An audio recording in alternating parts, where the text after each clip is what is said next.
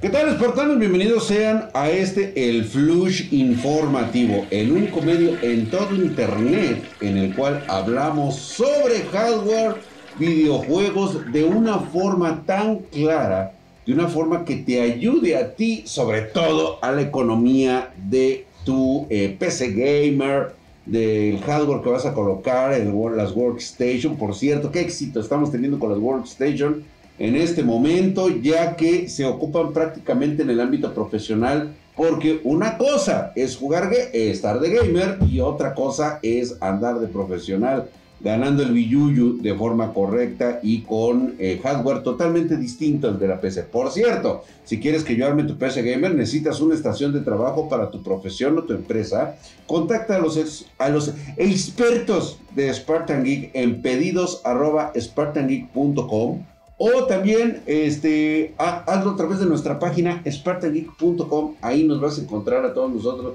Te contesto así, mira, en mega chinga. Y es que en este putisísimo señores, después de dos meses de estar anunciando ahí por el eh, CIES 2023, eh, el primer procesador Zen 4 con 3DB Cache por fin ha llegado. Estoy hablando del Ryzen 9 7950X3D, un modelo de gama pues bastante alta. AMD también anunció eh, otros dos modelos con caché adicional, el Ryzen 9 7900X 3D y el Ryzen 7 7800X3D. Pero hasta el momento solo el 7950X3D está disponible para los reviewers.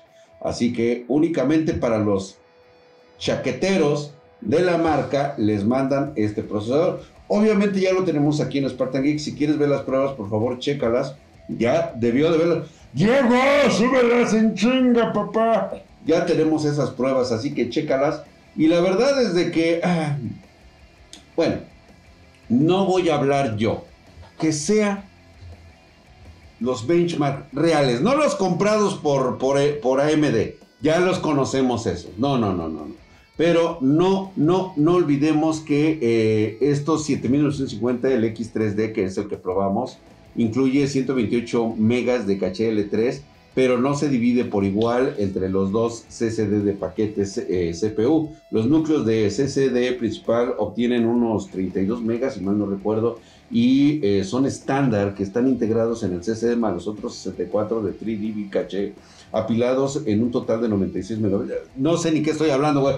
Ya, olvídalo, mi drag. Muchas gracias por participar. Nada más te voy a decir que para garantizar que estos procesadores funcionen correctamente, AMD recomienda usar la última versión de Windows 10 o Windows 11. O sea, ya nos están diciendo, ¿sabes qué? Si no tienes el software para soportar estos procesadores, no te metas en broncas. Además de que, pues bueno, el modo juego debe estar eh, habilitado y la barra de juegos de Xbox también debe estar actualizada. O sea, prácticamente tienes que tener tu máquina al puntito que. Ah, por cierto, actualiza también la BIOS de tu motherboard. Específica para los nuevos procesadores. Tienes que actualizarla a las nuevas BIOS. Se eh, puede confirmar que este rendimiento, si no actualizan los drivers, es deficiente.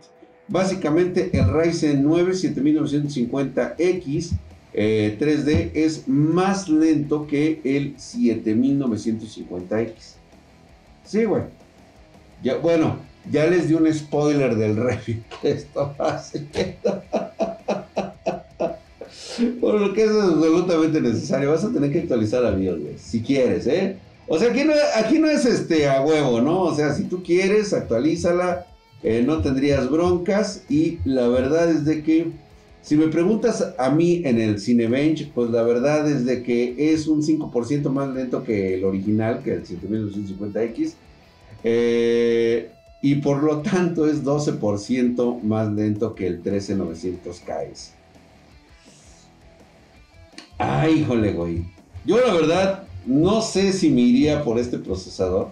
Yo se los he dicho que no, no este no se dejen engañar por el marketing que a veces avientan estas marcas y sobre todo ahora que tienen a la mayoría de los reviewers comprados.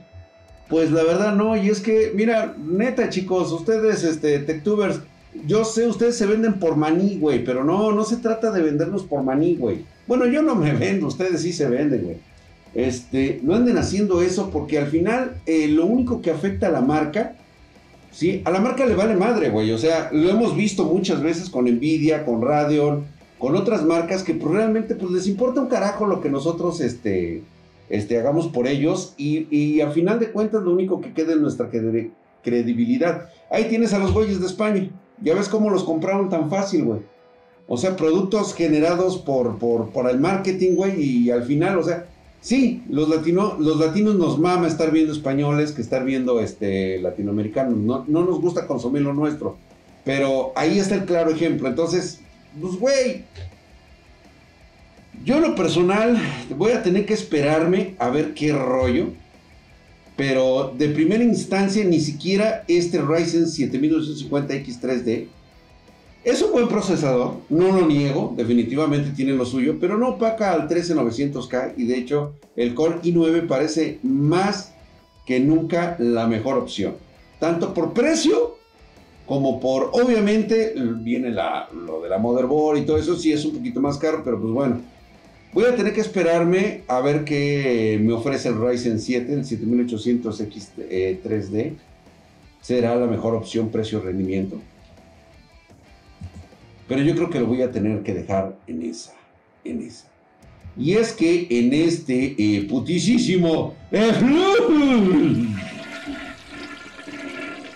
Señores, Microsoft que es raro que lo haga, güey. Admite, admite el error al enviar ofertas de actualización de Windows 11 para PCs que no son compatibles. Sí, lo sabíamos desde un inicio, no hay compatibilidad. Microsoft ya, ya habló de este gravísimo error que envió ofertas de actualización de Windows 10 a 11 en, en PCs incompatibles, enfocándose en el marketing y en la promoción del sistema operativo no se preocuparon en hacer llegar este material a usuarios que sí pueden actualizar su software sin problemas. O sea, vean la computadora de Leak, o sea, toda una, es una pinche cafetera andante, güey, es una pinche carton race. Y el güey le llega, y precisamente por eso me di cuenta, porque se chingó todo su sistema. Quería jalar Windows 11 y le digo, oye, papá, pues no mames. No mames, papi, ¿qué pasó, güey? Y pues bueno, ya limitaron la visibilidad de las ofertas. No está ya para todos, solo aquellos con computadoras compatibles van a recibir información sobre la actualización del sistema operativo. Así que si tú más que nadie sabe que tienes una pinche PC de la era del caldo, de la canica, que no es compatible, lo más seguro es que te vaya a empezar a marcar los errores y tu computadora no va a empezar a, este, más bien te va a empezar a decir que no cumple los requisitos mínimos para ejecutar el sistema operativo. Así de hijos de eso. Ay, güey, no, no, no, no, no, no, son una auténtica belleza, güey. Pero bueno, el marketing funciona. El marketing tiene que funcionar. Fíjate, según estaban comentando, el 69% de los usuarios con cuenta de Windows 10, si es Windows 10, sí, ah, güey, tienes Windows 10, sí, a huevo. Windows 10, este, fue al 69%, güey, por lo que este error le habría causado grandes problemas de cabeza a muchos clientes, güey. Sí, de hecho, nos, se comunicaron con nosotros. ¿Sí o no, güey? ¿Sí o no, güey? O sea, di la neta, güey. ¿Sí o no se comunicaron con nosotros diciendo que el pedo era de nuestro hardware? No, puto, no. Tu problema no es el, el, hardware, es el software. O sea, fíjate bien en las mamadas que instalas, güey. Ya me van a hacer enojar. No, pero está bien, está bien, está bien, está bien. Estamos para eso. Precisamente para darte la información y hacerte las correcciones adecuadas. Sin embargo, la empresa no reveló el número de personas que han intentado instalar el Windows 11 y no lo lograron. Me imagino que fueron un chingo, güey. Dijeron, ay, güey, ya tengo Windows 11 y de repente, toma, güey. Y pues bueno, Windows 11 estará recibiendo pequeñas mejoras durante las siguientes semanas o meses. A huevo.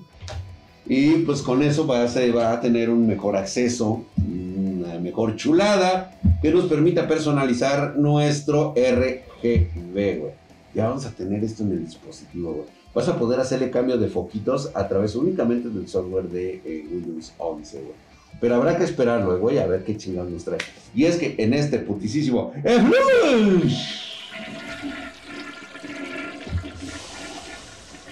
Intel, a pesar de que no ha caído de forma comercial ni una sola pinche tarjeta aquí por lo menos, eso sí, todos los de marketing, o sea, nuevamente regreso con los, este, con los techtubers.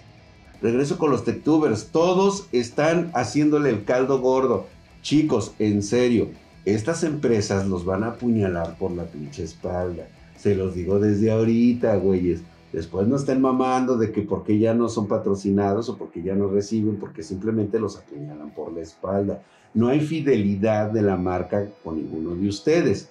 Y ustedes lo único que hacen es por tener una pinche tarjeta como las GPU Battle Mag con mejor rendimiento, lo primero que hacen es precisamente bajarse los calzones y decir que son las mejores tarjetas en rendimiento y que también van a posiblemente, pero posiblemente vayan a traer buen precio. Las mentadas Arc Alchemist de Intel no es el hardware más buscado entre los jugadores de PC. Eso queda clarísimo, Por lo tanto, el equipo de Intel está trabajando para mejorar la arquitectura de software, sobre todo en las próximas soluciones gráficas, que se van a llamar Battle Match.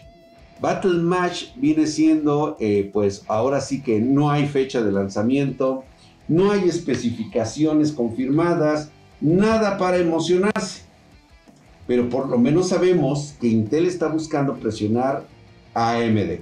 No va a presionar a Nvidia, no, no nos hagamos pendejos, no lo va a hacer, no lo vas a alcanzar en estas dos generaciones, tal vez en una tercera generación por allá por el 2030. Tal vez podamos ver algo que sea competitivo con Nvidia de aquel entonces. Mientras tanto, al que sí está presionando es AMD para que reconsideren sus estrategias de precios en el futuro. Intel tiene mucho varo para darte la gráfica más barata. Sin embargo, pues son gráficos discretos, hay que decirlo de esta manera, las cosas como son. Yo por eso cuando ya empecé a ver más o menos cómo sería el rendimiento, la verdad es que dejé de publicar algo relacionado a esto. No es algo que nos interese y no es algo que nos motive a nosotros los gamers por irnos por una opción mucho más económica y sobre todo con mejor rendimiento. No podemos correr en nuestro juego como Hogwarts Legacy. Chulada de juego, güey. Si así hubiera sido Elden Ring, con ese desarrollo de personajes, otro pedo sería. Obviamente, digo, Elden Ring no le vamos a quitar este, su, pedestal. Por supuesto que no. Pero si así me desarrollaras una historia, puta madre, güey, no mames, cabrón me tienes embebecido. ¿sí? O sea, esa es la verdad, la, antigua este, vieja escuela de los videojuegos. Pero bueno, hablemos de esto. Intel parece estar comprometida en, eh, lo que va a hacer. Le va a meter mucha lana, un proceso que va a ser necesario para que estos productos sean bastante, bastante atractivos.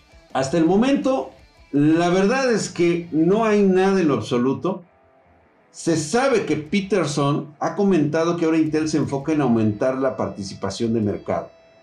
Sabemos que tienen ahorita unas tarjetas ARC que son una mamada, eh, pero quieren reducir la oferta para proteger sus márgenes de ganancia. Es decir, el objetivo final no es recuperar el mercado de tarjetas gráficas a menos de 200 dólares. Eso lo sabemos porque AMD y Nvidia mejor reducen la oferta que empezar a bajar los precios. Lo sabemos, güey. Yo se los dije, los precios no van a bajar. Sí bajan poquito, güey. Bajan nada más lo que acentúa, pero viene el chingadazo de la inflación y se mantiene en un precio pues bastante, bastante mamalón. Entonces, supuestamente GPU Battle Mag va a venir a romper con esa oligarquía de Nvidia y AMD yo no puedo levantar las campanas al vuelo número uno porque no conozco lo que van a hacer. No sé qué arquitectura estén usando y la verdad es de que tengo bastantes años en el mercado para saber que estos esfuerzos de Intel a corto plazo se centran más en reducir la participación de mercado de AMD y crear nuevas eh, tecnologías abiertas sin intenciones de desafiar a Nvidia. sabemos que no lo va a hacer, güey. Entonces, yo quiero esperar que más o menos empiecen a dar un agarrón entre Radeon y Nvidia. Ahora bien, la gran ventaja que tiene Intel es de que tiene toda la pinche lana del mundo, tiene toda la infraestructura para entregar tarjetas y eso puede ser un factor decisivo entre una Radeon y una ARC. Que sí la tengas disponible y que haya más en el mercado y que esté más al alcance de la banda que las Radeon, Pero chingate esa mientras, güey. Vamos a esperar a ver qué dicen ahí, qué dicen los señores de, de, ARC y sobre todo, qué van a decir los señores de Radeon. Yo diría, yo diría, es, es mi sueño mojado. Y si mejor Radeon se la venden a Intel, de pedos, güey. ¿No? Digo, por presencia de mercado sé por qué tienen a Raden, pero bueno, es una, es una chaqueta mental, porque en este putisísimo Microsoft lo acaba de confirmar, acaban de echar las campanas al vuelo. Como ustedes saben, llegó un acuerdo en el cual prácticamente le dijeron a Sony, chinga tu madre, Así, güey. Así le hizo, güey. Así le hizo Pat Peterson. A tu madre, güey. Sí, a Sony y Microsoft se ha asociado con Nvidia y con Nintendo para que estos organismos reguladores aprueben la compra de Activision Blizzard. Sí, a huevo, güey. a Sony lo dejaron solo, güey. Mira, lo dejaron pelando. y Fíjate que el gigante tecnológico conocido por todos, que es el que prácticamente quema dinero a madres, llevaría los juegos de Xbox a la Nintendo Switch durante los próximos 10 años. Sin embargo, parece que esto no va a suceder. No. A ver, prendan oreja. El hecho de que Microsoft se haya aliado con Nintendo Switch no significa como lo dice el presidente Brad Smith, este, que dijo que iban a corregir cualquier malentendido que involucre, pues que prácticamente eh, pues Microsoft ceda toda su plantilla de juegos a Nintendo Switch. No lo va a hacer. Solamente es el fuerte compromiso de llevar Call of Duty a los usuarios de Nintendo a esos nostálgicos pendejos que les venden nostalgia y la siguen comprando. No lo digo por usted, doctorados, no lo digo por usted. Usted es buen pedo. Pero, ay, güey, no. Mañana sale una, mañana sale un, este, un dildo de, este, de, ¿cómo se llama? De Samus, güey. Que va a decir Nintendo Switch. Lo van a comprar, güey. Lo van a comprar, güey. Es más, el de, el de, picos, güey, el que trae púas en el, cabezón, güey, ese van a comprar, güey. Y todavía le van a decir que el que venga firmado por Samus, güey. Y lo van a comprar, güey. Porque ustedes son así, güey. Nada más porque dice Nintendo, güey. Pero bueno, fíjate que este mensaje, este mensaje que mandó el mero chingón de, Microsoft, de Xbox, refuerza nuevamente que con la aprobación de la fusión de Microsoft llevaría todos los juegos de COD a las consolas de Nintendo durante una década. O sea, 10 añitos van a estar recibiendo constantemente su COD. Órale. Y esto pues lo sabemos perfectamente porque si existe COD móvil, pues cualquier chingadera va a correr este, los CODs como, como es la Nintendo Switch. Digo, es un movimiento genial, ¿eh? O sea, sí, sí vale la pena. Yo lo jugaría, pues la neta no, güey, porque no es mi, no es mi, mi área, güey. O sea, yo no puedo jugar Nintendo Switch mientras estoy haciendo otras cosas, porque o me dedico a hacer mis cosas o me dedico a jugar Nintendo Switch. Yo obviamente no voy manejando y voy este, jugando Nintendo Switch. Si fuera en el camión, pues bueno, pero tendría que ser un camión de primer mundo, güey. Tendría que ser transporte colectivo de primer mundo. Imagínate que vas en el metro, güey. Se cae la pinche línea otra vez, güey.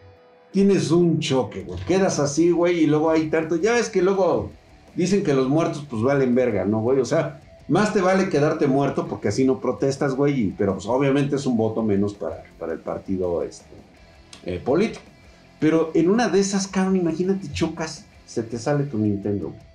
Ya, la verga. Sobreviviste, pero sin tu Nintendo Switch. Y así, pues no vale la pena. Es más, se cae las vías y lo primero que van a hacer es que va a llegar la Guardia Nacional, güey, y te va a arrestar, cabrón.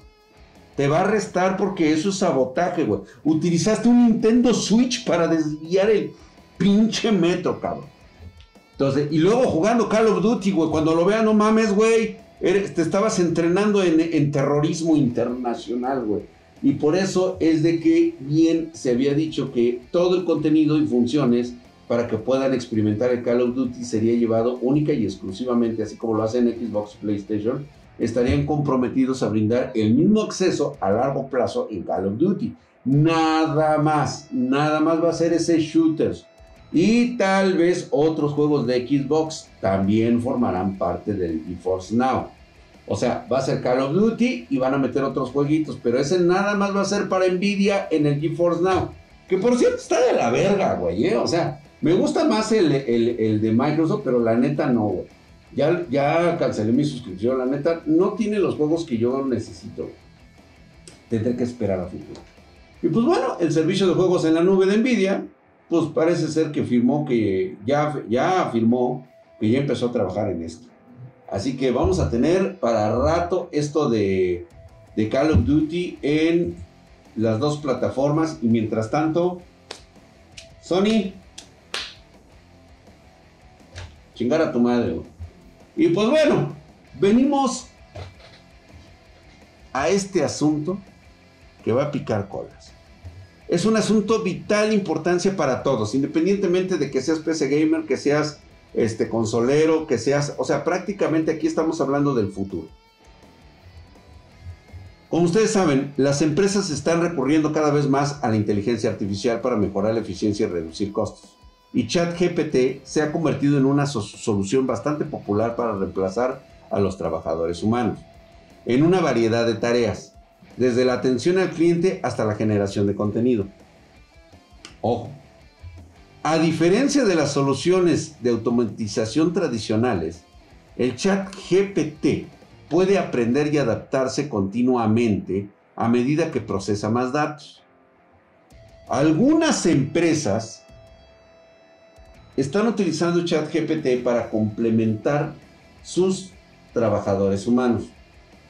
Otras ya están de plano reemplazando completamente sus trabajadores con las herramientas de inteligencia artificial. Este, esta situación, pues obviamente marca como resultado muchos trabajadores temen que su trabajo sea reemplazado por tal tecnología en el futuro cercano.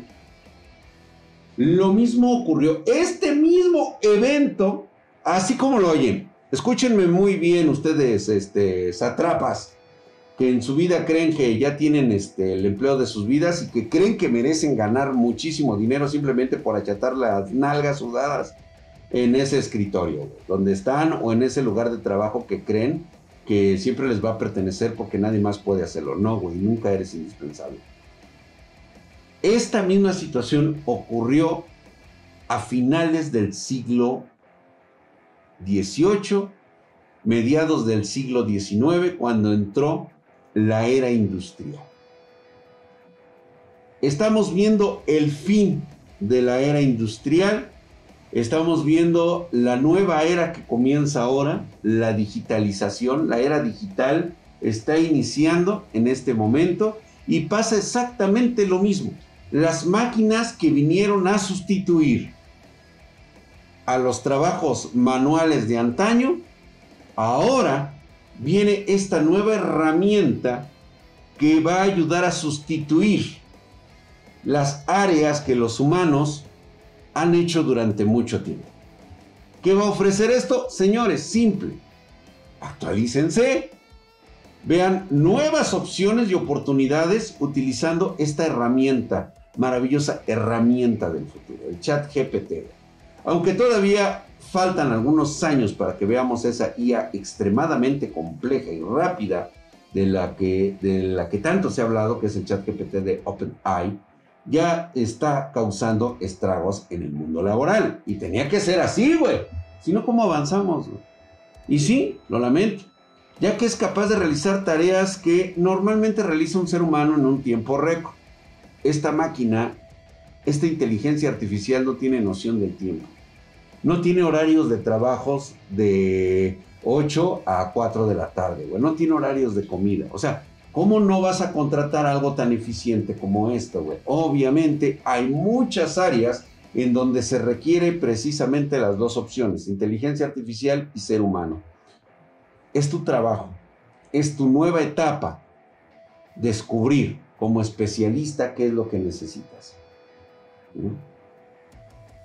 Ya, ya hicieron esto, ya hubo encuestas y han implementado el chatbot para realizar numerosas tareas como escribir código de programación, redactar y crear contenido, atención al cliente y resumen de reuniones y, y, documentos. E incluso el proceso de contratación se utiliza para redactar descripciones de puestos de trabajo, solicitudes de entrevista y responder dichas solicitudes. Ojo, a pesar de todo esto, todavía necesitas de una persona que dé instrucciones al chat GPT. Y no creas que es una cuestión sencilla de decir, ay, búscame este, este güey con esto trabajo. No, no, no, no, no, no. Créanme que el día de hoy se puede distinguir correctamente quién realmente supo utilizar bien un chat GPT, porque va a empezar a surgir esta situación. Va a ser tan genérico el uso de chat GPT de la inteligencia artificial va a ser tan genérica que te vas a dar cuenta cuando un güey poco, poco capacitado genere con la inteligencia artificial un proyecto, un, este, una programación. O sea, inmediatamente lo vas a detectar tú, güey. Porque incluso el mismo chat GPT te va a decir, güey, esto, esto lo hice yo, güey, y la neta, pues las instrucciones que me dieron fueron estas, güey. Y ahí es donde te vas a dar cuenta que efectivamente hay personas que sí saben pedirle, que sí conocen, tienen el conocimiento y saben perfectamente lo que le quieren pedir a la inteligencia artificial. Así de simple. No es que esté reemplazando trabajadores, es que está optimizando las áreas que necesitarán ir a futuro próximamente. Así que el 48% de los empresarios asegura haberse ahorrado más de 50 mil dólares y 11% más de 100 mil. Dado que esta nueva tecnología se está implementando en el lugar de trabajo, los empleados tienen que pensar en cómo pueden afectar a las responsabilidades de su trabajo actual, cuando deberían de estar pensando cómo puedo interactuar y llevar a otro nivel mi trabajo con esta inteligencia artificial, porque los empresarios siempre van a buscar racionalizar algunas responsabilidades laborales utilizando esto. No, eh, no, los empresarios no son hermanitas de la caridad. Por algo tienen los puestos de trabajo para generar dinero. Si ellos no generan dinero, pues no hay trabajos, no hay insumos, pero pues eso no lo puedes explicar a un chairo. Eso no se lo puedes explicar a un güey que quiere vivir del socialismo pendejo de su mente estúpida, creada por un imbécil que en su pinche vida trabajó, güey. Y que aparte lo mantenía su mujer, y aparte lo mantenía su amigo, y aparte su amigo se cogía a su mujer, güey. Y aparte dejó morir dos hijos, el hijo de su pinche... Ah, pero eso sí, pone el manifiesto comunista, todo lo que da, güey, y hace un puto libro llamado El Capital que nunca entendió el pendejo para qué servía. Así que vámonos, pues, porque esto ya, por cierto, arrestan a hombre por operación ilegal de minería, güey, de criptomonedas debajo de una escuela pública, güey. O sea, agarró el presupuesto de la escuela para poner en el sótano unas máquinas que se pusieran a minar y se dieron cuenta un año después de que estas máquinas estaban ahí abajo y ahora sí, ya se le fueron con todo, con todo el güey Ándele, puto, para que anduviera de pinche chilistroso, güey, y que se le aplican al cabrón. Fíjate, agarré el presupuesto de la escuela, güey, para estar este criptominando, güey. Pues espero que, que haya juntado bastante lana porque va a salir en un buen rato y ya no va a encontrar chamba. Y espero que con esa lana, pues por lo menos la pueda invertir bien. Si es que no la perdió toda. Vámonos a la ñonga, güey. Nos vemos hasta la próxima. Vámonos, pues. Gracias. Bye.